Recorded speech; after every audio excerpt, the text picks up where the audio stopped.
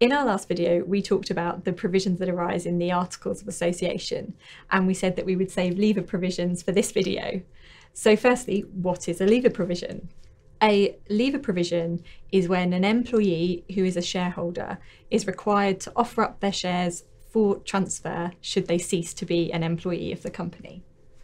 And the price that they'll get for the shares is dependent on whether they are a good leaver or a bad leaver.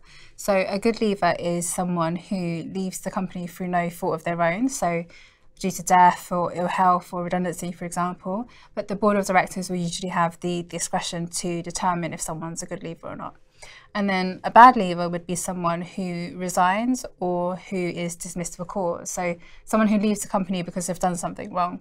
Um, this could be due to gross misconduct, um, they've committed fraud, or maybe they've breached their restrictive covenants, for example. So with a good leaver, the price that they'll get for their shares is fair value, so they'll benefit from the increase in value of the company's shares. But for a bad leaver, the price they'll get for their shares is normally the price paid for them, so they won't get the benefit of the increase in the value of shares. So this could be as low as nominal value or for free if they're offered the shares for free.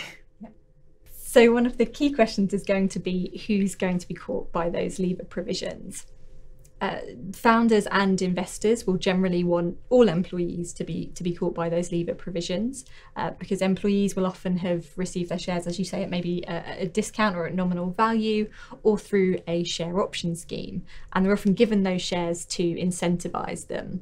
So if they then cease to be an employee, they, you know, the investors, the founders don't want lots of ex-employees on the cap table benefiting from maybe an increase in, in the value of the shares that, that's being produced by the employees who are currently working in the company. So it's often normal to have no, normal employees to be caught by these leaver provisions. But the question often arises is whether founders should be caught by these leaver provisions. So investors will want founders to be caught by these leaver provisions because they'll want to make sure that the founders are tied into the business. And uh, you know, if leaver provisions apply to their shares, then that's going to be a disincentive to the founders leaving the business. Uh, but from a founder perspective, they may think, well, I haven't, you know, received my shares as, as an incentive like other employees.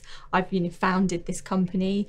I've, um, you know, grown the business from the very beginning. It was maybe my idea. So why should I, why should my shareholding be at risk? Should I decide to leave for whatever reason, you know, which may be a good leaver scenario, you know, for example, where you're leaving, say, because of ill health. So, you know, even if in a good leaver scenario where they're getting fair value for their shares, because they're the founder, they, they may be thinking, well, no, I should be treated differently to other employees. And so whether the founders are caught is often going to be a point for negotiation.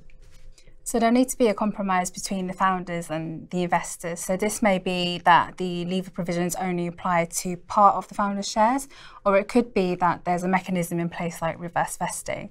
So with reverse vesting, this is where the founder would hold all their shares up front, um, and then over the vesting period, which is usually a few years, um, if they leave within that period, then they'll have to sell a set amount of those shares. So the sooner the founder leaves, the more shares that they have to sell. And then after the vesting period finishes, then all the shares become fully invested in the founder, meaning that the founder would have full rights to those shares. So reverse vesting provisions act as an incentive for founders to kind of stay and commit to the company, but then that also offers reassurance to the investors and the co-founders. So while founders being caught by leaver provisions can sometimes be a sort of slightly contentious conversation between founders and investors, one of the other ways that the investors can ensure that they're protected is by making sure that employee all employees, including founders, are caught by restrictive covenants in the shareholders agreement. So I'm sure a lot of you will have come across restrictive covenants in your in your day-to-day life, uh, in, in employment contracts, for example. And in a shareholders agreement, they're going to be very similar. So it's going to be points around, uh, you know, not competing with the company, uh, not soliciting employees, not soliciting clients away from the company. And if you're an investor, you're going to want to make sure that any employees who are shareholders are caught by these restrictive covenants by having them in the shareholders agreement. Um, but if you're an investor, the other thing to think about is just making sure that they're drafted in, in a way as to ensure they only capture employees who are shareholders and not all of the shareholders.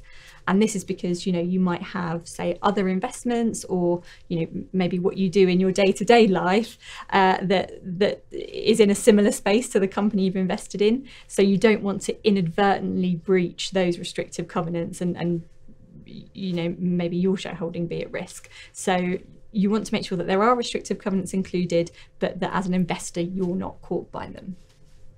So that wraps up our video on leaver provisions and our series on key founder and shareholder protections. Um, keep an eye out for our next series and in the meantime have a look at our other videos on raising investment.